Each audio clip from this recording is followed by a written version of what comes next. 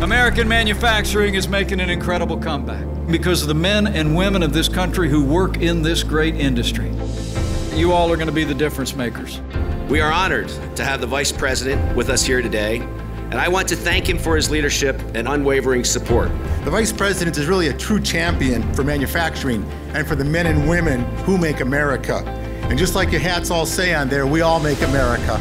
Manitowoc and its 1,400 employees have a simple but powerful message to deliver to Congress. And when the equipment manufacturing industry is strong, then America is strong also.